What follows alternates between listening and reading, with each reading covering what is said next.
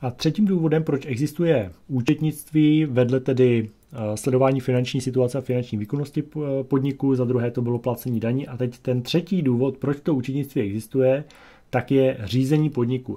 Pochopitelně my jako manažeři určitě budeme to účetnictví využívat pro to, abychom ten podnik eh, správně řídili, protože na co nám například účetnictví může odpovědět.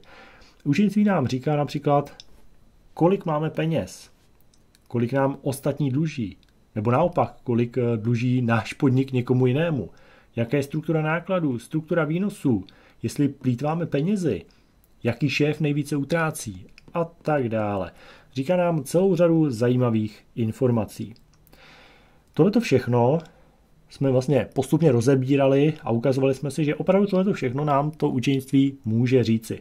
A naopak tedy, nebo respektive pokud se na učenictví díváme tady z toho pohledu, to znamená z pohledu řízení podniku, tak tomu se říká takzvané manažerské učenictví, že si z něj vlastně taháme odpovědi na tyhle ty otázky.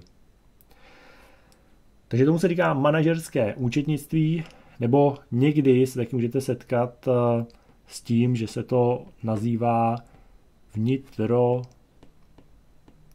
podnikové účetnictví.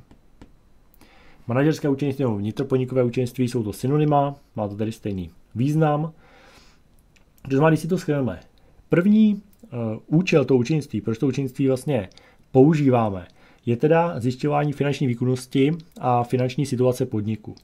Druhý důvod, proč se to použí, no ten první důvod, teda ještě když se k tomu vrátím, tak to byl, to, tím se vlastně zabýval, nebo pokud se s tou účetnictví taháme takovéhle informace ohledně finanční situace a finanční výkonnosti, tak tomu se říká finanční účetnictví.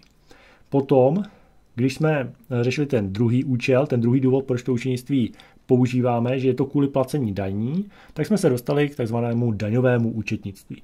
No a třetí důvod je řízení podniku a pokud si tou účetnictví taháme data nebo údaje, proto, abychom mohli ten podnik řídit, tak tomu se říká manažerské účetnictví nebo někdy taky vnitropodnikové účetnictví.